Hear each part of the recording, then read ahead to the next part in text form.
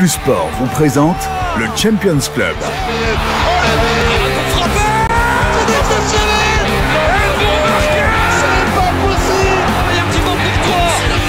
C'est le Champions Club, présenté par Vincenzo Turo.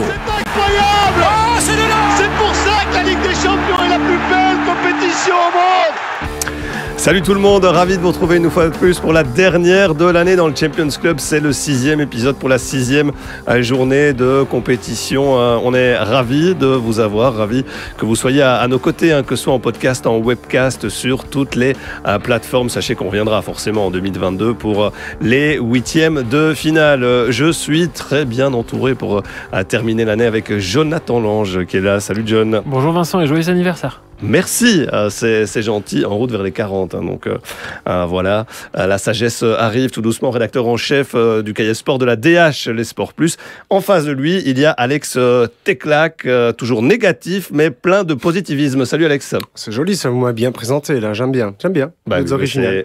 Bah, c'est lié aux circonstances du moment, hein, mon cher euh, Alex. Euh, on regarde le programme de la semaine, hein, bien sûr, vous le savez. On sera là euh, dès demain soir, mardi et mercredi sur Pix Plus Sport avec un multilève qui commencera un petit peu plus tôt, hein, 18h15, puisque le club brugeois se déplace à Paris, où d'envoi la rencontre à 18h45. Dans le même temps, Leipzig reçoit Manchester City. C'est important, on y vient, bien sûr. À 21h, quelques belles affiches avec Real Inter pour le prestige, Milan-Liverpool pour la qualif éventuellement pour euh, l'AC, Ajax Sporting, Dortmund Besiktas, Shakhtar, Sheriff Tiraspol et puis Porto Atletico qui a toute son importance. Également au programme de la soirée de mercredi, un multi-live à l'heure habituelle, 20h15, avec euh, Chelsea et la Juve qui sont en première partie de euh, soirée. hein. là aussi, les deux cadors d'ores et déjà euh, qualifiés. Puis on a le Bayern-Barcelone, hein, qui vaudra quand même la peine d'être regardé, couplé à Benfica, Dynamo Kiev dans le même groupe. Il y a euh, les incertitudes avec Wolfsburg-Lille, Salzbourg-Séville et de la pression pour Atalanta-Villarreal. hein. Également, euh, Manu euh, Young Boys. euh, cinq tickets à encore aller euh, chercher. 11 équipes déjà qualifiées avec huit anciens vainqueurs. Quand même, je parlais du Barça. Euh, ce serait une première hein, si euh, se qualifie pas pour les huitièmes, une première depuis la saison 2000-2001. Euh, Imaginez-vous, Euh, ils doivent gagner. Ils doivent gagner parce que Benfica devrait sans doute gagner face. Face au Dynamo Kiev, il n'y a que deux points euh, qui les séparent. Bref, pression maximale évidemment sur euh, Xavi, qui était à l'époque joueur euh, du, Barça euh, en euh, 2000. Euh, comme d'habitude, on, on commence cette émission, messieurs, avec un, un coup de cœur. Et comme d'habitude, je me tourne vers Jonathan. Ton coup de cœur de la semaine ou de ces dernières semaines, c'est qui? Ouais, ces dernières semaines, c'est Junior Messias, euh, petit ovni qui a débarqué dans le ciel milanais, ce joueur brésilien qui, euh, il y a six ans, était encore en D6 quand il avait quitté le, le Brésil. Il se doutait pas qu'il allait faire carrière en Italie. Et voilà, c'est, ça pourrait être une belle histoire. Ça le sera peut-être, peut-être hein, si l'AC Milan se qualifie pour C'est les ce que j'allais te dire. Ne dis pas tout, ne dévoile pas tout, parce qu'en cas de qualif de la Milan, tu as quand même une belle euh, cartouche là, parce qu'il a une histoire complètement euh, dingue un parcours assez euh, incroyable. Alex, tu restes dans la catégorie attaquant, sauf que celui-là, tout le monde le connaît, et depuis longtemps et pour longtemps. Ouais, mais c'est parce que il a, il a de nouveau marqué son retour d'un d'un doublé comme il le fait à chaque fois. hein, parce que quand il revient, il- est Tu n'as pas dit son nom. bah, évidemment. Voilà, même s'ils ont été battus ce week-end, euh, il, est, il reste quand même assez, assez incroyable. Et, et c'est vrai qu'on peut commencer à compter euh, les jours pour lui à, à Dortmund cette année-ci. C'est la bonne, il, il restera pas. Ça, c'est c'est certain. Voilà. 51 buts en 51 matchs pour le BVB, c'est ça Oui, hein c'est ça. Il avait inscrit son 50e. C'était pas contre Wolfsburg, justement, la semaine dernière, non? Pense, euh, Jonathan. Je crois que le 50e, c'était contre Wol- Wolfsburg, euh, Vincenzo. À vérifier. Ouais, mais en attendant, dès qu'il joue, il marque. Il marque, il est c'est très le tarif fort, ouais. habituel pour le cyborg du Borussia Dortmund, battu dans le euh, Classiqueur. Euh, vous le savez, hein, le BFB qui a euh, manqué la, euh, sa qualif en Ligue des euh, Champions. En attendant, comme d'hab, on s'intéresse forcément aux Brugeois pour entamer cette émission. No sweat, no glory. Bruges qui est parti hein, ce lundi matin en direction euh, Paris donc pour aller euh, défier le, PSG d'ores et déjà qualifié petit point sur la situation du groupe A même si les données sont très très claires euh, City s'est imposé face à Paris lors de la cinquième journée et donc City avec 12 points termine premier du groupe. Paris deuxième avec oui petits points seulement, c'est pas énorme.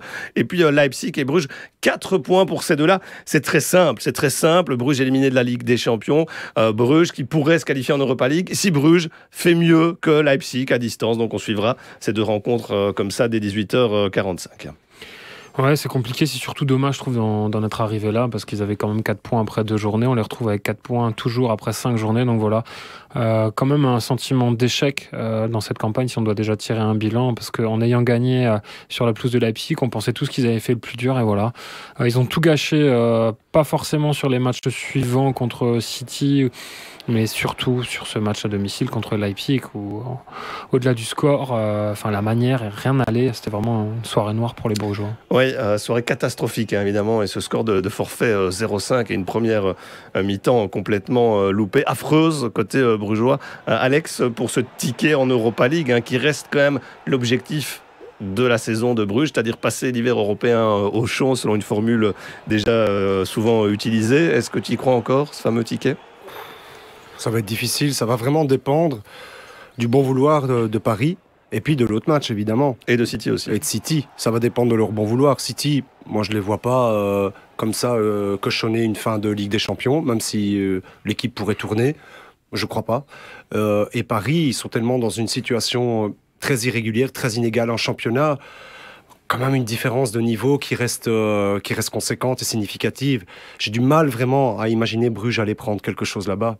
On détaille hein, dans quelques instants forcément les, les sélections euh, des, des, deux clubs, mais on va revenir sur une des informations du week-end et elle est liée quelque part au Blau Zwart. C'est le fait qu'à Leipzig, on a viré Jesse March là.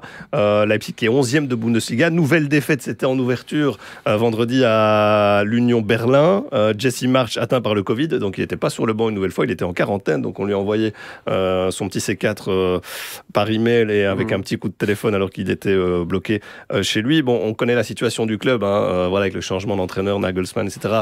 Les blessures à l'heure actuelle, le Covid qui a frappé le, le vestiaire, mais cette incapacité finalement euh, côté Leipzig et côté Jesse March à trouver la bonne formule. Ouais, alors que pourtant la direction le présentait, euh, comme on dit en Allemagne, comme le Wunschtrainer, donc c'est vraiment l'entraîneur qu'il souhaitait absolument euh, pour le traduire en VF. Mais voilà, l'héritage de, de, Nagelsmann était très compliqué à assumer. Il ne faut pas minimiser non plus les départs. Il y a un axe central euh, au-delà de la défense centrale, au milieu de terrain aussi avec un départ important qui s'est fait du côté du Bayern. Donc voilà, on a perdu vraiment trois cadres, trois incontournables, plus l'entraîneur. C'était trop compliqué et à Leipzig, on a fait sauter le fusible. Pourquoi? Parce que on est à 5 points, à 5 points de la relégation et à 7 déjà de la zone de qualification pour la Ligue des Champions. Devant, ça avance vite en Allemagne et c'est un club qui, pour continuer à se développer, doit absolument jouer la Ligue des Champions tous les ans. Je pense que c'est vrai que l'héritage était, difficile à, supporter pour Marche. Après, euh, Benoît nous confiait euh, en studio, il est très proche de ce club, Benoît Tans, que vraiment les joueurs, euh, le relationnel avec l'entraîneur ne passait pas du tout. Et lui euh, avait déjà l'info, d'ailleurs, selon laquelle il serait très vite viré. Ce qui est étonnant, en fait, certains ont dit, ouais, ils ont joué pour leur coach à Bruges. Ben, pas du tout, justement. Ils ont montré que sans leur coach, ils étaient, ils étaient motivés. Parce que ce jour-là, franchement, Vincenzo, c'est vrai, c'est une tempête quoi, hein, sur le Bredel qui s'est abattu. Mais ils avaient visiblement des ailes, ça c'est clair. ouais. Mais euh, elle est bien placée, mais, mais euh, ils étaient vraiment impressionnants. Donc euh, ils sont retombés dans leur travers très vite. Moi je pense qu'effectivement il y a un problème vraiment de relation aussi avec l'entraîneur. Jesse March, issu de la galaxie Red Bull, hein, voilà, il connaissait les principes, euh, les préceptes même euh, de, de, la mise en place de, de ces, ces, clubs, euh, notamment passés par Salzbourg. Mm -hmm, non, mais ça prouve bien, voilà, c'est une erreur de casting, tout simplement. Ils avaient beaucoup investi sur lui, mmh. mais quand on perd une charnière centrale avec Konaté ou pas Mécano, il faut la reconstruire derrière aussi. Donc, euh, donc voilà, il y a quand même un, un gros souci ouais, par ouais. rapport à ça. Euh, et on va quand même continuer à, à Leipzig à essayer de, de bricoler. Là, c'est Hakim Bayer-Lorser qui sera sur le banc, c'est l'adjoint. Ouais, il était déjà là à Bruges, ouais. qui, était de, qui était déjà là parce qu'il était touché par le Covid, mais on va prendre son temps aussi à Leipzig pour pas faire n'importe quoi. Et on parle de, de, Roger Schmidt qui est euh, le favori numéro un, qui connaît aussi la maison, qui avait fait du bon travail à Leverkusen, moins bon quand même après à Wolfsburg. Donc, euh, donc voilà, ça se reconstruit aussi, euh, mais euh, très honnêtement, Alex parlait euh, de City qui va faire tourner. Ils ont une telle profondeur d'effectifs que de toute façon, n'importe quel remplaçant ouais. serait titulaire quasiment dans n'importe quel club d'Europe. Donc, euh... Très bien, revenons à, Bruges, même si c'est effectivement une lueur euh, d'espoir, euh, ce qui se passe à, Leipzig. Bon, à Bruges, tout le monde est là. Alors, il a fait tourner euh, ce week-end, victoire face à Serein 3-2, la première depuis de, le 15 octobre hein, en, championnat quand même pour Bruges. C'est plutôt rare ces dernières saisons. Ritz Balanta Vanaken était au repos. On a vu le jeune Cisse Sandra en 2003, 17 ans, première titularisation, premier but.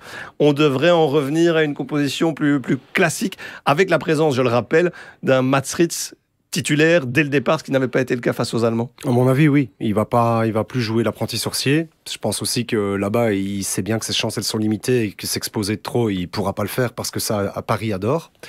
D'ailleurs, dans le championnat français, les autres équipes, euh, je pense, tu me, tu me le confirmeras, l'ont bien compris. Euh, c'est vraiment une chose que les, opposants ne font pas en Ligue 1, c'est de leur laisser beaucoup d'espace. Euh, ça, c'est une première chose. Ensuite, moi, la, la, chose qui m'interroge, parce que c'est ce que je me suis fait comme réflexion en voyant le match de ce week-end contre Serein, à part Mata et Hendry dans une moindre mesure, parce qu'il a aussi été, euh, voilà, il a aussi eu des moments, je veux dire par le passé, hein, le passé récent ici, il a eu aussi des moments plus compliqués. Cette défense, elle est vraiment devenue très fragile. Et je me demande dans quelle, dans quelle mesure le fait d'avoir finalement eu un accompagnant différent à chaque fois pour, pour n'a pas finalement fragilisé tout le monde. Je, je, me pose vraiment la question parce que je trouve que là où c'était une force avant, ça a même contaminé Mignolet. Mignolet qui d'ailleurs ce, ce week-end n'osait pas sortir on, aurait vraiment dit qu'il était en manque de confiance et qu'il voulait assurer une prestation propre sans qu'on puisse dire de lui qu'il ait commis des erreurs. Mais alors, il s'est dénaturé. Donc, même, j'ai le sentiment que ça a même gagné un petit peu sa confiance, ou alors, en tout cas, les certitudes qu'il affichait dans, le but. Voilà. Après, évidemment, serait un tellement de fragilité défensive aussi qu'ils ont trouvé la parade. Mais franchement, c'était pas convaincant, hein, Vincenzo. Par rapport à, à, Paris, on parlait de Ritz. Vormer, ou pas euh, Non, moi, pas. Mais, moi, là encore une fois, quand, quand Bruges doit défendre avec Vormer, il défend mal. Il est devant le ballon et j'ai presque envie de dire qu'il s'en fout. Par contre, là où il est, il est très bon, c'est dans ses infiltrations. Ça, ouais, ça, pour la Belgique, certainement. Alors vous allez me dire, ouais, mais il a fait une bonne rentrée, etc. Euh, il a fait une bonne rentrée, ouais, ok. Championnat belge. Mais sur la, sur la scène européenne, moi je comprends que Clément, il n'en fasse plus un titulaire indiscutable. Ensoki qui avait été impérial face à Paris à l'aller, tu penses qu'il pourrait le relancer alors qu'il avait été cata face aux Allemands? Il va peut-être jouer sur la motivation d'Ensoki parce que voilà, et sa connaissance un peu des quelques joueurs qu'il a, qu'il a côtoyés, en effet, ça peut être une possibilité, mais il doit aussi euh, vraiment se remettre en question, Ensoki, hein, surtout dans la concentration, le focus qu'il doit avoir sur le jeu défensif. Non, mais sur un match comme ça, il sera forcément motivé de par son passé. Je crois, il vient de Paris, on sait comment il a été exfiltré vers Nice, et il a une qualité qui est très importante, que n'ont pas forcément les autres défenseurs brugeois, c'est cette vitesse. On sait que Paris, ça va à 10 000 à l'heure, lui, il peut se retourner très vite.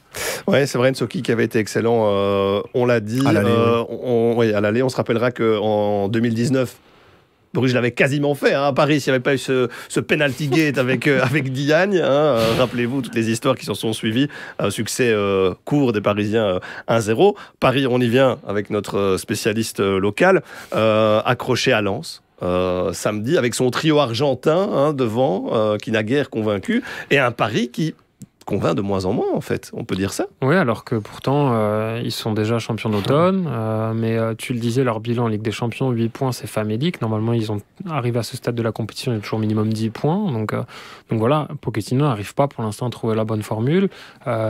Contre Lens, ils s'en sortent de, manière vraiment très, très heureuse sur la fin de la rencontre. Et pour rebondir sur ce que disait Alex avec Ritz, il y a un joueur qui a fait très mal à Lens, il s'appelle Fofana, milieu de terrain avec un gros volume de jeu. Et donc voilà, il faut les agresser dans l'entrejeu, comme Bruges l'avait fait finalement au match aller. Parce que avec Paris, le temps passe, mais on a toujours l'impression de voir une équipe, euh, une grande équipe qui joue comme au mois d'août. Il n'y a rien qui avance collectivement. Alors il y a eu beaucoup d'excuses euh, avec les préparations qui ont été décalées, avec les allers-retours en Amérique du Sud pour euh, Neymar, pour Messi, pour tous les autres Argentins aussi. Mais globalement, pour l'instant, à Paris, il n'y a pas grand-chose. Et ça devient vraiment compliqué aussi pour Pochettino parce qu'il est quand même sous pression. Oui, et alors, ce qui m'a fait sourire, c'est quand même, il a déjà évoqué le, fait qu'il n'aille pas au bout de la Ligue des Champions en disant tout le monde nous attend hein, en, remporter le, trophée, mais il y a des chances que qu'on n'y arrive pas. Et donc il se préserve déjà de ces éventuelles ouais, il se préserve. Après, je nuancerai quand même. Euh, ça fait pas mal de temps que on suit tous la Ligue des Champions. La vérité du mois de décembre, elle n'est jamais celle du mois de février. On est d'accord aussi. Clairement, on ne sait pas. Euh, euh, rappelez-vous quand le Bayern est allé au bout la dernière fois, ils étaient moribonds durant tout l'automne avant que Flick ne prenne l'équipe en marche et il en a fait une machine de guerre. Donc voilà, on ne sait pas ce qui peut se passer. Ça, devient quand même inquiétant, cette absence finalement de, ligne de conduite et d'équipe type aussi, parce qu'il ne peut jamais aligner deux fois le, même 11 de base, Pochettino. Et quelque part, bah, ces prestations qui sont moins convaincantes. Bah, oui, mais quand ils jouent tous les trois, je, vous l'ai déjà dit, on l'a déjà dit, s'il y en a trois qui défendent pas, c'est pas possible, Vincenzo. Et c'est ce qui se passe parfois en, Ligue 1. Ils sont parfois avares d'efforts défensifs. Bon, à Lens, j'ai vu une partie de la rencontre, honnêtement, une partie. Mais, mais j'ai vu par contre la, la bonne partie, parce que c'est la partie où ils ont souffert énormément. Bon, ils sont encore revenus un peu miraculeusement en fin de match. Mais toutes les interviews des joueurs allaient dans ce sens-là, c'est de dire oh, on est tombé contre une équipe qui a mis énormément d'intensité pour te rejoindre. Et ça, ils n'aiment pas. Ils détestent. C'est passé au match aller. Hein. Exactement. Hein.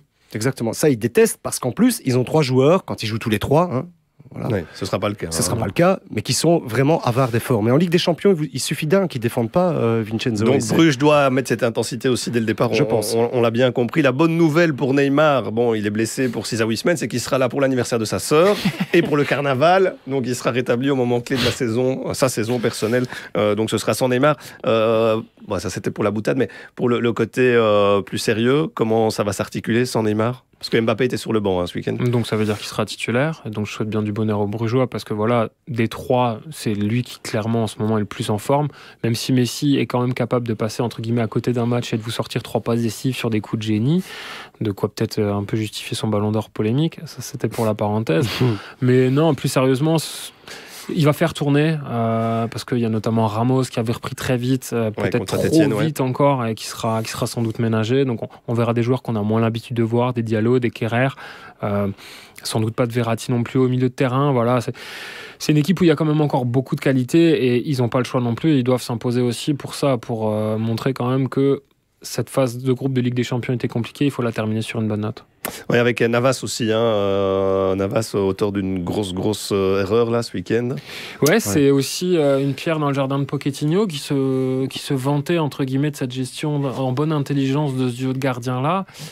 c'est vrai qu'on a eu des exemples par le passé, notamment au Real qui faisait jouer un gardien en championnat et un autre gardien en Ligue des Champions. Ça pouvait marcher, mais euh, Mino Raiola pèse. Ça a ses limites. Hein. Ouais, Mino Raiola pèse de tout son poids, c'est l'agent de, de, Donnarumma, on sait qu'il a l'oreille de Leonardo, il y a toute une campagne de presse aussi qui, qui s'orchestre autour de ça pour que Donnarumma joue plus régulièrement. Est-ce que ça met sous pression aussi Navas? On pourrait le penser en tout cas, parce qu'il y a eu cette faute de main, il y a eu cette exclusion aussi avant, alors que c'était un gardien qui ne commettait quasiment jamais d'erreur. Donc, euh.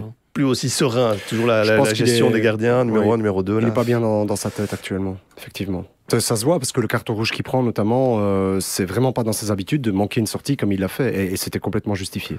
Bon, on l'a bien compris aussi, Bruges euh, devra être moins perméable. Hein. Derrière, je regarderai les, chiffres de cette défense 23 buts encaissés en championnat mhm. et 16 en, Ligue des Champions. On est quasiment à 40 déjà. Alex, tu parlais tout à l'heure de Henry hein, et de tous ces changements. Là, il va falloir être solide pour aller chercher quelque chose. Euh, et Mignolet aussi. Et Mignolet, il faudra tout bon Mignolet. Bon, on sera attentif à, à ça. Donc à distance, PSG Bruges. 18h45, Leipzig, Manchester City. Voilà pour le point côté à Blow dans ce groupe A. On enchaîne et on passe forcément à l'immanquable de la semaine. L'immanquable. Oui, l'immanquable, c'est un classique euh, européen, c'est Milan, euh, Liverpool, ça va ramener forcément côté anglais de bons souvenirs, 2005, hein, hein, euh, côté italien un peu moins cette année-là. En 2007, ils avaient battu Liverpool, comme mhm. quoi ils avaient pris leur revanche par rapport à cette finale de, folie grâce à un grand Pippo Inzaghi. On a le sentiment, John, que Milan est peut-être à un tournant de sa saison, parce que là, ils sont en, tête en championnat, qui a une belle bataille pour le Scudetto, et parce qu'ils peuvent encore le faire aussi en Ligue des Champions. Ouais, tu le disais, en championnat, c'est leur meilleur début de saison depuis la saison 2003-2004. Ils ont pris déjà 38 points. C'est une saison où ils avaient terminé champion. Donc ça prouve qu'il se passe aussi quelque chose. Après, leurs difficultés en Ligue des Champions, elles sont pas forcément étonnantes pour deux points. Déjà, il faut regarder la qualité du groupe et de l'opposition, parce que franchement, c'est l'un des groupes les plus denses de la Ligue des Champions. On était tous d'accord au début de la compétition. On rappelle Liverpool, Porto, Atlético. Hein. Voilà, des habitués. Et justement, j'aimerais insister sur ce point d'habitude. Milan, ça faisait très longtemps qu'ils n'étaient pas en Ligue des mmh. Champions. Et on sait que c'est compliqué de se réinstaller, même si c'est une très grande maison européenne. C'est le deuxième club le plus titré de l'histoire de la compétition derrière le Real. Et on sent que petit à petit, ils grandissent dans la compétition parce que ce qu'ils ont fait euh, sur la pelouse du Wanda Metropolitano lors de la dernière journée, franchement, c'était très costaud. Oui, ils l'ont porté comme ça sur la fin, ça leur, ça leur laisse une opportunité. En fait, euh, à un moment donné, on les, on, les, on les considérait comme étant éliminés virtuellement, très honnêtement. Après trois, défaites. Hein. Trois défaites pour commencer. donc voilà, c'était vraiment très compliqué de commencer comme ça. Euh, mais c'est vrai que je trouve qu'ils sont en train. Là, ils, ont le droit d'y croire. Ils ont vraiment le droit d'y croire euh, grâce à, leur, à leurs résultats. De dire aussi que Pioli, c'est paradoxal, mais les, la, allez, la bonne forme sur la Ligue des Champions malheureusement correspond avec des défaites en championnat parce que je crois qu'ils étaient invaincus après 12 matchs de championnat. ils sont battus par la Fiorentina 4-3, un match un peu un peu fou et ils sont battus surtout euh, ici contre Sassuolo où on s'y attendait pas. Il faut Ils ont même- gagné après ce week-end. Oui, Ouais, ils, ils ont, ont ils ont gagné mais aussi, hein. on s'y attendait vraiment pas, quoi, ces deux défaites-là. Donc ça, c'est un petit peu aussi en corollaire avec la Ligue des Champions, l'expérience qu'ils doivent acquérir, c'est que ils ont quand même des ambitions pour de nouveau être champions d'Italie. Ça, c'est avant tout, je pense, leur priorité, Vincenzo, dans leur situation. La Ligue des Champions, elle est de toute façon considérée comme du Milan, euh, du côté du Milan, si je puis dire, entre guillemets, un peu du bonus et de nouveau un retour aux sources. Mais de là à espérer une qualification inattendue comme c'est le cas, Oui, sauf que maintenant, ils peuvent encore se qualifier. fait, ils oui. doivent gagner, espérer un nul entre Porto et jouable. Se dire que Liverpool est qualifié avec ce 15 sur 15. Et donc voilà, parce qu'au niveau du jeu, au niveau du contenu, euh, l'AC, ils sont là, ils proposent des choses intéressantes. Oui, et je pense l'avènement de Salamakers aussi, hein, qui a marqué son, son premier but euh, de fort belle manière aussi. C'est une équipe qui est en train, en plus avec un cadre qui est Ibra- Ibrahimovic, je trouve, euh, plus calme aussi. Joue moins, il n'a pas été titulaire, je pense, en Ligue des Champions Pas une seule fois, pas encore. C'est peut-être le moment. C'est peut-être le moment pour lui aussi. À voir, mais je trouve que c'est c'est vraiment un, un match dans lequel ils ont un, un vrai, vrai coup à jouer. Euh, Je suis curieux de voir vraiment cette, euh, cette, cette rencontre-là. Ouais, je suis d'accord. Un Gros bémol quand même, c'est euh, la blessure de Ouais. Simon Kier, euh, qui est très important, euh, qui n'a pas vrai. vraiment de remplaçant naturel dans cette équipe-là. Donc, euh, donc voilà, quand on connaît la puissance de frappe offensive de Liverpool. Mais il y a le retour de Maignan, plutôt que prévu. Ça, c'est quand même une... euh, Fantastique gardien. hein. Ouais, Chaque fois, il le franchement, parce qu'il euh, ne faut pas banaliser son retour. hein. Il est super important, il est revenu plus vite que prévu en plus. Et je crois qu'il aura, il aura lui aussi, comme Mignolet, aura son mot à, son mot à dire. Ce sera, ce sera le cas aussi pour Maignan. Presque aussi fort que Donnarumma sur les pénalties, hein, Maignan. Un grand spécialiste. C'est vrai, c'est vrai. Euh, après, offensivement, on parlait de Salemakers hein, qui est en train de franchir un, un palier. Je, je regardais euh, cinq fois titulaire en Ligue des Champions, donc c'est devenu euh, un Mhm. cadre, 11 fois en, en Serie A. Et euh, il a joué déjà plus de matchs avec Milan qu'avec Anderlecht, hein, faut pas l'oublier. Ça, c'est quand même assez particulier. 76 avec Milan, 64 pour le, le Sporting d'Anderlecht. Il est vraiment considéré à sa juste valeur. Mais je vous le hein. disais il y a quelques, quelques semaines, euh, et tu m'avais répondu, je m'en souviens, bah, il faut peut-être pas aller trop vite avec lui. Mais je trouve qu'il a gagné en maturité. Il est moins, entre guillemets, foufou comme il peut l'être. Il il va garder ses- la nature de son jeu, c'est ça. Mais je trouve qu'il est, il est quand même un peu plus structuré, qu'il grandit. Honnêtement, il me, il me surprend. Je pensais pas que ses progrès allaient être euh, euh, si significatifs en si peu de temps. Et but très intelligent contre la Salernitana. Hein. Franchement, euh, il se remet bien sur son pied gauche et c'est un Il but faut la mettre. hein. Et c'est un but qui peut être un déclic aussi, parce qu'il lui manquait ce côté concret, cet Mhm. impact chiffré, parce que tu le disais, c'est son premier but de la saison pour deux Mhm. passes décisives. Quand on regarde les autres joueurs qui sont titulaires avec lui, les premiers choix de Pioli, Diaz, 4 buts, 4 passes décisives, euh, Léao, 5 buts et 3 passes décisives, même Messias euh, en était Ouais. déjà à 3 buts. Donc voilà, c'était le moment aussi pour lui de montrer qu'il pouvait avoir un impact concret dans le jeu. 14 buteurs différents quand même hein, du côté de l'AC Milan, donc ça veut dire que le danger peut venir véritablement de partout. Et on attend le premier de Zlatan depuis 2016, lorsqu'il portait le maillot du, du Paris Saint-Germain. Il devrait donc être titulaire euh, quand même demain soir pour affronter le Liverpool d'une légende belge, Divock Origi. Il fallait en parler, forcément, les propos euh, récurrents à répétition euh, de Jurgen Klopp chaque fois que Origi est, est décisif. hein. Euh, c'est vrai, il est souvent au montant du, du banc. C'est quand même 7 ans qu'il est là, et ce sont les collègues anglais d'a- d'Alex qui le disaient, qui le rappelaient sur les plateaux de télévision cette, ce week-end. 34 fois titulaire en 7 ans, Divock Origi, et un statut de légende adoubé par Jurgen Klopp à chaque fois. hein. Ouais, j'ai bien aimé ce tweet d'Andy Robertson. J'emmènerai mes petits-enfants voir la statue de Divock Origi. Pourquoi? Rappel des épisodes précédents. En Ligue des Champions, forcément, il y a ce doublé dans cette nuit magique à Anfield contre le Barça. Ce but aussi en finale des Belges qui ont marqué en finale de Ligue des Champions. Il n'y a pas eu énormément. Il y a eu Carrasco, il y a eu Divock Origi. Il y a ce but qu'il a propulsé aussi dans la Ouais. légende locale, c'est de marquer euh, lors du derby contre Everton dans le temps additionnel. Surtout Donc voilà, c'est un peu la mascotte. Parfois, il passe au travers, euh, comme il peut le faire chez les Diables. Donc ça, c'est un côté rassurant. Mais c'est jamais un mot plus haut que l'autre, alors que la concurrence, elle s'est, épaissie, parce qu'il y a les trois fantastiques de devant, mais il y a Iota aussi encore en plus. Donc euh, il est quoi? Cinquième, parfois même sixième choix. Mais, mais voilà, c'est Divock Origi. Ouais, est-ce que c'est pas parfois un, manque d'ambition aussi de se dire, moi je veux être le, le leader d'une attaque dans un autre club que Liverpool euh, ou- Je sais pas, dans cette situation, il est quand même derrière euh, des attaquants euh, Ah, mais vraiment d'un d'un très haut niveau. Est-ce qu'il gagnerait autant Il gagnerait peut-être plus à titre personnel, lui, dans son épanouissement, je veux dire, personnel, son accomplissement personnel dans un autre club, mais il gagnerait probablement moins de titres. Et peut-être que ça compte aussi pour lui. Parce que quelle équipe peut lui offrir, quand vous avez connu le top comme cela, il s'y est habitué à ce rôle de super sub. Quelle autre équipe pourrait lui offrir de meilleures conditions de travail et surtout la garantie potentielle, en tout cas élevée, très élevée, de pouvoir gagner autant de titres? Il n'y en a pas tellement. Et je pense que ça compte un tout petit peu quand même pour un joueur, surtout lui. Après, je trouve que. Après, il faut Klopp- jouer, Alex. Oui, Ouais. je suis d'accord, mais Klopp entretient bien aussi chez lui ce Ouais. côté euh, j'ai besoin de toi. hein. Il en fait sa mascotte, c'est vrai, un peu le symbole, un peu sa coqueluche. mais- J'exagère, tu trouves? Ouais, ouais, c'est pas. Moi, Ouais, c'est hein. fake, c'est fake. C'est vraiment du gros fake euh, parce que. Voilà, tu sens que tu sens que de toute façon, il n'est pas sa priorité, mais je vais pas parler d'opportunisme de l'entraîneur, mais un petit peu quand même. Sincèrement, il peut pas dire autre chose de toute façon. Qu'est-ce que tu veux qu'il dise Ah, il est très fort à ce niveau-là, ouais, sa gestion des, Avec des son grand sourire, euh, voilà, mais tu sens quand même que c'est pas, c'est pas, c'est pas très Vu les circonstances, il a quand même des chances d'être titulaire. hein. On, on le sait plus souvent titulaire en Ligue des Champions. On a déjà parlé aussi sur les plateaux de, de multilive que- qu'en championnat. Donc, euh, c'est Ouais, il y a peut-être un une soirée vrai- pour lui, ça. Il y a un vrai coup à jouer pour lui. Prêté à Wolfsburg hein, aussi, on s'en rappelle. Ouais. Euh, et la transition, elle est faite parce que on va parler euh, des petits loups, des diables qui évoluent de ce côté-là. Jaune, rouge. Et on va évoquer le cas d'Aster Vranks, qu'on salue d'ailleurs, qui euh, m'a fait la promesse d'être là si d'aventure il y avait une qualif. Il devait être euh, notre invité aujourd'hui, mais malheureusement, vu la défaite, le programme a été un petit peu chamboulé pour euh, Wolfsburg. C'est le groupe G, hein, euh, le groupe dans lequel tout le monde peut le faire encore. C'est ce qui est plutôt rare lors de la dernière journée. La dernière fois, c'était en 2009. Alors, c'est très simple. Le LOSC et Salzbourg, qui sont en tête, doivent éviter la défaite. Séville et Wolfsburg, qui sont derrière, doivent gagner. Euh, voilà.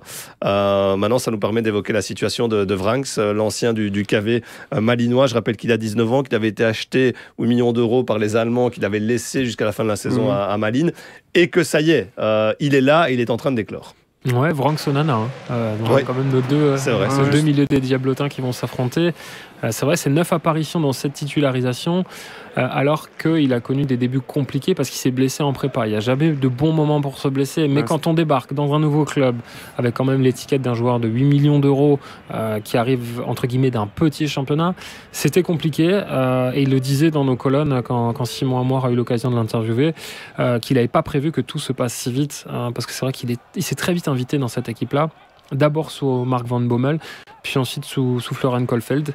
Il était titulaire lors des trois derniers matchs, même si c'était trois défaites, euh, dans un système qui a un peu bougé aussi, mais que ce soit aux côtés du, du capitaine Maximilian Arnold ou euh, de Joshua Guilavogui. Il est là, il répond présent, euh, comme on l'a connu en Belgique finalement, hein, avec de l'impact physique, mais aussi cette justesse technique qui lui permet d'être très à l'aise lors de la première relance. Ouais, c'est vrai. Et, et ses projections aussi. hein. On a vu Ouais. sur les quelques images, les gens qui nous suivent évidemment sur euh, YouTube, qui ont euh, l'image avec, euh, avec eux, la, la vidéo. On a analysé ses prestations en Ligue des Champions. Euh, Alex, euh, voilà, euh, c'est un milieu de terrain moderne qui sait tout faire, hein, malgré son jeune âge.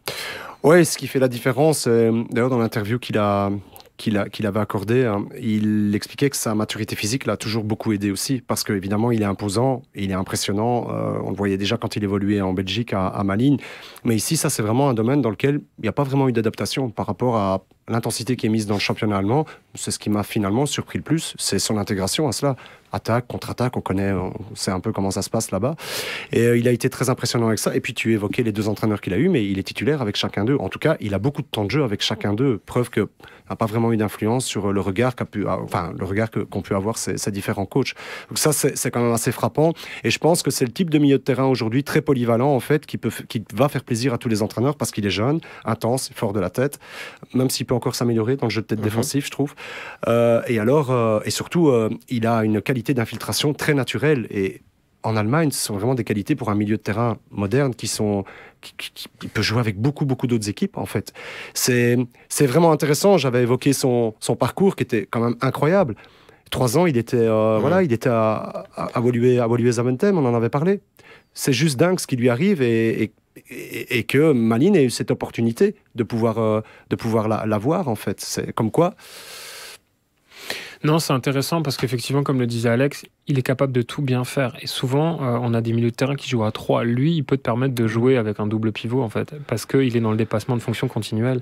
Et là-dessus, il est vraiment ultra précieux. Et pour preuve qu'un si jeune joueur ait autant de responsabilités dans une équipe comme Wolfsburg, qui est quand même un grand club d'Allemagne, qui joue la Ligue des Champions, euh, qui essaye de mmh. viser le haut du tableau aussi, c'est assez révélateur et c'est aussi une très bonne nouvelle pour les Diables. Mais juste une chose, et en plus son association avec Guy, enfin, Guy Lavogui qui était rentré de blessure, euh, qui, avait été absent, et, et, Arnold, qui sont des vieux de la vieille, rappelle-toi, on les a encore commentés lorsqu'ils sortaient de leur, de leur titre de champion avec De Bruyne. Notamment face au Real. Ils, sont là, oui, voilà, ils sont là depuis, depuis longtemps. Ce qui leur rapporte, c'est vraiment de l'énergie à ces deux joueurs-là qui commencent à en avoir un peu moins. Même si Arnold, c'est un peu, le, je disais, le, le très bel, pour faire une, une parenthèse, le très bel allemand, quoi. Hein. Il a, il a, mais je trouve, il a vrai, voilà. sauf qu'il joue, lui. Sauf qu'il joue, voilà. Mais sinon, il, y a, il y, a, beaucoup de similitudes. Non, mais blague à part, il apporte vraiment cette intensité, cette compensation euh, par rapport à ces deux joueurs. Et, et, souvent un des meilleurs sur la pelouse, même, même quand son équipe perd, ce qui a été le cas ce, week-end où ils ont été euh, balayés à, à, à, Mayence. Euh, les autres Belges, Castells devraient rentrer du, du Covid. Il n'était pas encore là ce week-end, mais ça devrait le faire, je pense, mercredi. Borno, il déçoit, je trouve, hein, parce que, enfin, il déçoit. Il est monté, il est monté ce week-end parce que, à mon avis, les circonstances du match s'y prêtaient. voilà. décevoir dans le sens où il n'arrive pas à aller chercher cette passe de titulaire. Non, alors que ça a été l'un des gagnants du, changement d'entraîneur, parce qu'avec Van Bommel, il jouait la mhm. néerlandaise dans un 4-3-3, on ne peut plus classique. Ah, avec Kofeld, ils sont partis euh, sur un 3-4-3 qui valorise quand même plus ses qualités. Il a commencé à jouer un peu au début, là c'est un peu plus dur pour lui aussi, parce que euh, Alex parlait de Guy Lavogui, qui commence à avoir aussi un certain âge et qui dépanne aussi derrière donc euh, c'est un peu plus compliqué pour lui. Quid de Luke Bacchio? Je regardais aussi hein, ces dernières euh, prestations. Bon, euh, voilà, il y a de la concurrence. Hein, Weghorst, Sanmecha, Philippe Walschmidt, pour ne citer que, que ceux-là. même s'il fait de bonnes choses, il, montre de bonnes choses. Il y avait une très bonne entrée à Bielefeld où sur son premier ballon, il y a 15 jours, il est décisif, il est décisif et ils égalisent en, en, 42 secondes. Ils mettent deux buts avec Mecha. Il joue souvent sur le côté droit, Mecha à gauche avec Weghorst devant.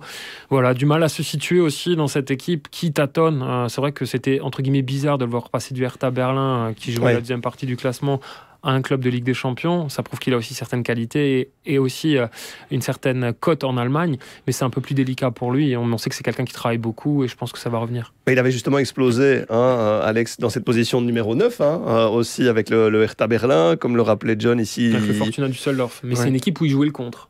Voilà, dans d'autres dispositions. Ici, ils ont plus souvent, en tout cas, en Allemagne, on leur laisse plus souvent la balle.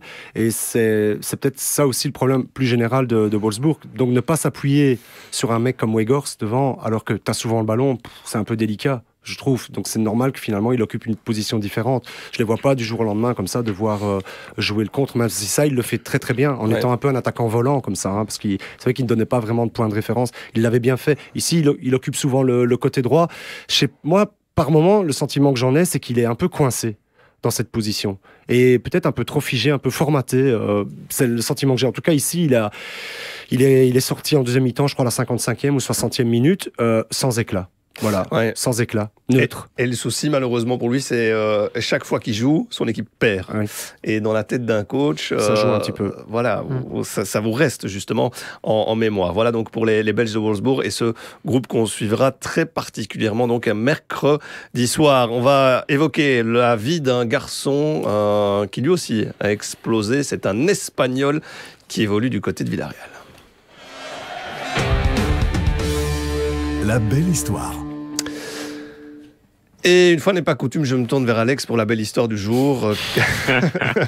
Donc, comme d'hab, comme d'hab, Jonathan pour la belle histoire, la petite musique de circonstance. On parle de Jérémy Pinault, un gamin du sous-marin. Ouais, moi j'ai envie de vous emmener en voyage hein, sur une île, quelque part au milieu de l'océan Atlantique. Fermez les yeux. Nous sommes le lundi 6 décembre. À Bruxelles et partout en Belgique, il fait déjà nuit et froid. À Las Palmas, dans les Canaries, un petit 20 degrés et un grand soleil. Vous ne le savez pas, mais Thomas Châtel s'y est retiré pour partir à la quête de Pierre de Lave, persuadé qu'il trouvera là-bas les réponses au quiz pour un jour triompher de Vincenzo Turo. Les Canaries, c'est une terre qui a vu naître Javier Bardem, presque aussi charismatique que Vincenzo, et le mythique Ressé, presque aussi doué qu'Alex Teclac mais aussi donc un certain Jérémy Jesus Pino Santos. Alors Pino, c'est ce qu'on appelle un calero, à savoir un joueur du coin qui a appris à dribbler sur la plage et sur le bitume avant de porter les couleurs de Barrio Atlantico, de l'AD Huracan et puis logiquement de Las Palmas, le grand club du coin, avant que tout s'accélère. Printemps 2017, la sélection des Canaries dispute un tournoi national cadet. Lui, il est qu'en première année, mais ça l'empêche pas d'impressionner tout le monde et surtout les recruteurs de Villarreal et du Barça. Et là, le roi du contre-pied préfère le sous-marin jaune. Son histoire est en marche, à base de records de précocité, parce que depuis son arrivée en 2017, il est en équipe C et en D4, et au fur et à mesure, il monte les échelons. La saison dernière, c'est la révélation. Le Covid contracté en préparation retarde un peu l'éclosion, mais le 22 octobre 2020, à 18 ans et 2 jours, il devient le plus jeune joueur de l'histoire du club lors d'un match face à Sivaspor. Pinot, vous le savez pas, mais c'est plus fort que Cassias et Van Persie. Pinot, il a 18 ans et 218 jours quand il dispute la finale de la Ligue Europa la saison dernière contre Manchester United, faisant mieux que le mythique gardien qui avait 19 ans et 4 jours pour sa première finale européenne avec le Real. Pinot, il n'a pas fait que jouer, il a gagné cette finale et il a effacé des tablettes Van Persie, jusqu'à présent plus jeune vainqueur de l'épreuve avec le Feyenoord. Alors forcément, Luis Enrique l'a remarqué et son vent du renouveau va rimer avec Pinot qui, pour sa première sélection contre ton équipe d'Italie, régale. 4 dribbles tentés, 4 réussis, un récital. Et dire que tout aurait pu s'arrêter il y a deux ans, quand il s'est fait très peur avant le mondial U17. Une frappe de son grand ami Pedri, qui vient lui aussi des Canaries, termine dans son œil. Il ne voit plus rien pendant une heure, il se retrouve renvoyé à la maison. Mais sauf que depuis, c'est lui qui en met en plein la vue à tout le monde. Merci John, il faut être aveugle hein, pour pas constater que c'est une véritable pépite ce, garçon-là. Et ce que j'aime bien dans ces belles histoires, forcément outre les trajectoires, c'est la découverte de petits clubs, hein, de noms à chaque fois des divisions inférieures euh, dans tous ces pays euh, européens. Alors, à Thomas Châtel, on le salue, euh, nouvelle défaite dans le quiz. Est-ce que Alex Teclac va pouvoir s'imposer aujourd'hui? Qu'est-ce que tu nous prépares comme petit quiz? Tiens. Sur les plus jeunes buteurs en Ligue des Champions, vu qu'Irémi Pinot a ouvert son compteur, c'était pas un record, mais donc voilà. Il n'a pas l'air très optimiste. Hein. Alors, le plus jeune de l'histoire. Je suis international espagnol. J'avais 17 ans et 40 jours quand j'ai marqué. Raoul. Raoul. Quand j'ai marqué avec le Barça contre l'Inter le 10 décembre 2019. Depuis, j'ai eu de graves ah blessures. 1-0. Ah déjà, oh déjà c'est beaucoup trop récent pour moi. le deuxième de ce classement, je vous le donne direct, c'est Peter Oforikoi. Vous n'auriez pas trouvé, donc de toute façon, ça s'est réglé. Euh, merci les Ghanéens, mais c'est pas grave. Ah, dommage. je suis international croate. J'ai sauvé l'honneur quand Lyon a ridiculisé le Dynamo Zagreb 7 à 1. J'avais Non, ben non. J'avais 17 ans et 216 jours en 2011. Depuis, j'ai fait du chemin à l'Inter Milan d'abord, au Real Madrid ensuite, qui m'a prêté à Chelsea, qui m'a ensuite ah acheté quand Eden Hazard est parti. Je suis milieu de terrain, euh, international croate. International croate. Euh, ah oui, euh, j'ai son visage. J'allais dire. tu as son visage, mais tu n'as pas son nom. 3, 2, 1. Matteo Kovacic. Les quatrièmes, attention, ils sont deux. Ils avaient 17 ans et 218 jours, tous les deux formés à Barcelone.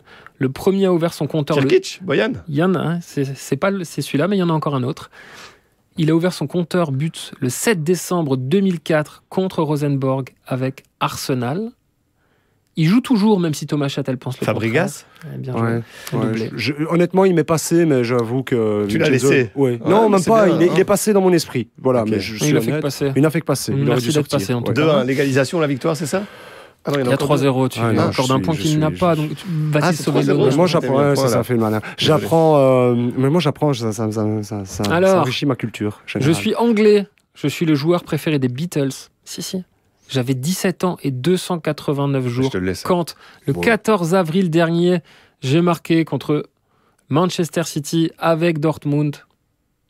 Je suis ben, c'est euh, Bellingham, oui. voilà, et confiance en toi, Alex. tu l'as au fond de toi. Tu l'as au fond de toi, mais tu ne laisses pas, tu te laisses pas euh, l'exprimer. Bon. Euh, c'est pas grave. Il faut espérer que Thomas Châtel ait trouvé les pierres de lave parce que sinon. Il peut pas en commander sur, sur Internet. trouve de tout. le débat maintenant désormais. Ah oui. Choisis ton camp. Prenez vos petites notes, euh, messieurs, le débat avec euh, la question du jour, avec quatre clubs qualifiés. Euh, la Grande-Bretagne, où la Première Ligue fait partie du grandissime favori une fois de plus. Est-ce qu'une autre ligue peut briser l'hégémonie théorique des clubs anglais? On commence avec le clan du nom, et c'est toi, Jonathan. Une minute. Non, j'ai regardé Hégémonie, ça veut dire domination d'une puissance, d'un pays, d'un groupe social sur les autres. Ensuite, j'ai compté, depuis 10 ans, les Anglais affichent un taux de réussite de 85% quand il faut se qualifier pour les huitièmes de finale de la Ligue des Champions et quand ils partent avant, ils vont en finale de la Ligue Europa. Ensuite, on a procédé par élimination. L'Allemagne, elle a une très belle locomotive avec le Bayern, mais derrière, ça peut dérailler. Dortmund ou Leipzig l'ont prouvé. En France, Lille, c'est l'exception à la règle du néant derrière le PSG. En Italie, la vieille dame fait son âge, l'AC Milan repart de loin et l'Inter se reconstruit. Alors, il reste l'Espagne Le Barça et le Real ont dominé le monde, sportivement, économiquement, mais pour l'instant, ils n'ont plus les moyens financiers de rivaliser. Et problème, on ne prête qu'aux riches. Et là-dessus, impossible de faire le match avec les Anglais. Ils ont de l'argent, pas toujours bien investi à United, mais bien dépensé ailleurs. Ils ont des idées avec Klopp et Guardiola, les deux meilleurs entraîneurs de club au monde actuellement, et ils ont cette culture européenne. À Liverpool, à Chelsea, à City, avec cette volonté de conquérir le continent. On a eu Liverpool-Tottenham en 2019, Chelsea-Manchester City l'année dernière, et je pense bien qu'on aura une finale de nouveau 100% anglaise cette année. Ça va être très difficile Non, mais- de le contredire. Là, il m'a bluffé, Ouais, mais- convaincu. Il faut euh, dire que j'ai été sportif. Je- tu m'as posé la question, j'ai dit non. Voilà, parce que j'avais envie de me lancer un défi, donc je lui laissais le oui, forcément. Et donc, c'est évident qu'il est. euh, Voilà, je l'ai je l'ai bien mis, quoi. Je lui ai donné un assist, Vincenzo. Oui, donc, je vais me défendre avec On mes peut armes. faire appel au VAR et au message, au message WhatsApp. Voilà, sinon. on se défend comme on peut. Oui. Euh, une minute, c'est parti. Allez, dans la tendance où chaque match ordinaire est annoncé comme extraordinaire, ben, c'est évidemment la première ligue. La plus riche, oui. Le plus de téléspectateurs, certainement. Pas toujours au stade, mais bien devant leurs écrans d'ordinateur, mais c'est sympa. La Bundesliga, ben, le revenu, revenu de plus de 4 milliards la saison dernière. Première ligue, 5 5,6 milliards, j'avoue, je concède. 15e année consécutive que la Bundesliga affichait une augmentation de ses finances. C'est quand même pas mal. En réunissant aussi la Bundesliga 2. Donc ça fait 28 clubs sur 36. Quand vous voyez l'état financier de la Championship, euh, Championship pardon, qui croit à l'Eldorado de la Première Ligue, faut quand même se poser des questions quant à vraiment leur, euh, la véracité de, de- de tes propos, mon cher, euh, mon cher Jonathan. En moyenne, la capacité supérieure des stades allemands, ben, 43 000 spectateurs, 5 000 de plus qu'un match de Première Ligue. Ben, En Liga et en Serie A, j'y reviens même pas parce que c'est à peine 25 000. Bundesliga, football ouvert, moyenne de 3,24 buts par match, 2,82 en Première Ligue, mais bon, c'est quand même sympa. Foot sous tension, dynamique, les fondations posées par Ranić, Klopp, jeune coach Nagelsmann, David Wagner, Mar- Marco Rose, Thomas Tuchel, qui ne font plus la loi que chez eux, mais la font aussi à l'extérieur. Ok, le Bayern, c'est vrai, ça crée un peu, un peu trop tôt. Mais pour tout ça, ça en valait quand même bien la peine. Donc la Bundesliga et avec un pas mal de recherches, hein, franchement. Bah, j'ai fait ce que j'ai euh, pu. Bravo. Voilà, parce que je Euh, savais que j'avais un gros concurrent Ouais. en face de moi. Fameux- fameuse concurrence, n'hésitez- n'hésitez pas à débattre avec nous, vous laissez votre commentaire. Qui, pour briser l'hégémonie euh, de l'Angleterre et la Première Ligue dans cette Ligue des Champions? Vous avez une heure, vous, et non pas une minute. Euh, allez, on termine par les pronos, c'est devenu une tradition. Les pronos. Oui, le jeu des pronostics, hein, donc de Pix Plus, pronopix.be, avec comme euh, à chaque fois des PS5 notamment à gagner et plein de bolos, des Ah, il y voyages. C'est vrai? Oui, Il y en a disponibles. Oui, il y en a Vous les avez trouvés où, mon cher le, le problème, c'est que que, la pénurie, toi, hein. euh, pour le moment, c'est une catastrophe. Pénurie Tout de comme- vélo, tout pénurie comme- de PlayStation. tout comme Thomas Je ne te laisserai Châtel. pas parler. Thomas Châtel, que je ressalue une deuxième fois. Bravo Thomas, 1 sur 4 lors de la dernière salve de pronos. Je ne suis pas meilleur. Hein. Un point sur 4, enfin un bon résultat sur 4. Euh, Tom, euh, Jonathan a fait quand même 2 sur 4. On peut le féliciter. C'est le plus expert parmi nos experts. Alors, comme d'habitude, on va pronostiquer deux rencontres du euh, mardi et on commence, euh, messieurs, avec PSG euh, Bruges. Alex, 1 Un. X2. Un. 1 pour Alex, victoire du PSG. Un. John. 1 et je dis 1 aussi. Le deuxième match, c'est Milan-Liverpool. John Un. 1. Là, c'est Milan euh, vainqueur face à Liverpool. Alex Deux. 2 succès de Liverpool. Et je mets un petit X, tiens, pour un partage. Un mercredi, euh, mercredi, Atalanta-Villarreal. Alex, Atalanta. victoire des Italiens. Un. 1 et je dis 1 aussi. Et puis il y a le très attendu Bayern-Barcelone. 1 X2. Un. Victoire du Bayern. Pas mieux. hein. Victoire du Bayern et victoire du Bayern aussi. Euh, pour moi, on euh, fera le point au mois de février euh, prochain. On n'oubliera pas, on n'oubliera pas la preuve. Les preuves, elles sont là, euh, forcément. Euh, je remercie une fois de plus Jonathan. Euh, Merci à toi. passe un bon mois de, de décembre.